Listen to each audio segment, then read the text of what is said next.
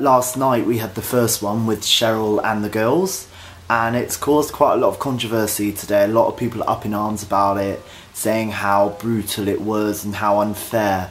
Um, I'm kind of angry. I know I shouldn't be angry, but I am angry a little bit because I think people need to take a step back and realise what it is. It's a TV show. It is a TV show that's there to find music, um, music acts, singers, successful ones too, but it is a TV show no less. You sign up, you know what you're getting into, you know this is a TV show, you know it's for entertainment purposes.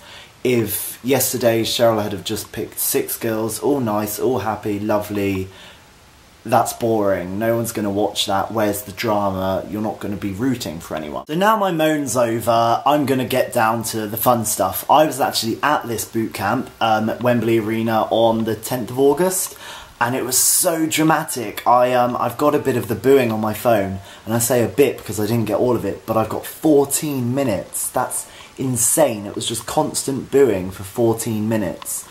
Um, people really thought Monica Michael should have got a seat. People really felt that Chloe Jasmine. Um, you know, I can't remember the name of the girl that Chloe Jasmine replaced in the end. That tells you everything. I remember her uh, performance, and I remember it was just a clean cut Adele, uh, sorry, Emily Sandé song. It was just quite safe, and it was boring. She's a professional singer it was dull. It was great. It was great. She's she had a great voice, but it was safe and it was dull. Chloe Jasmine, not maybe as much of a powerful voice, but a really compelling character, a really interesting person, a really nice, sweet, unique, jazzy tone. Something we've not really had before. We've had Rebecca Ferguson with the whole kind of jazz vibe, but Chloe uh, is a really interesting vibe. And then girls like Lauren Platt and uh, Carrie Ann, uh, very good, hugely talented, quite versatile, but unlike Chloe, who has a definitive style, are these girls um, unique enough to stand out and make it to the finals? So I've just found all my notes, which were the notes I took when I was at boot camp. As much as everyone else was having fun and having a good time, I'm sat there taking notes. I'm such a geek.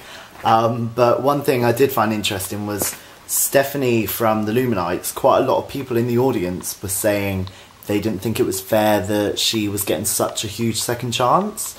Um, you know, and it's funny, I always say the public can be quite peculiar about two things people who've had such a big first chance and are now returning, and also people from other countries. People feel like perhaps they're being lied to or that it's unfair. Um, I think if Stephanie does go through to the finals, I don't think she'll hang around long for the same reason. I just don't think people are rooting for her in the same way they are Lauren Platt, Lola, Carrie Ann, Chloe Jasmine. You know, we know these story, we know these stories, we know them as characters. We're rooting for them. So I don't think Stephanie's off to the best start. I'm also just flicking through these notes and just seeing that there were so many people that didn't get shown on the TV show.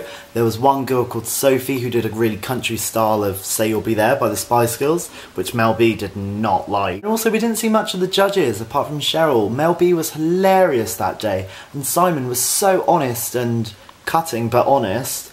And it was a shame we didn't get to see much of that. But obviously, with only an hour in you know, it has to be done. Don't forget to check out all my other X Factor Roundup videos. I've done one for every week, and this weekend I'm going to do one for every night of boot camp.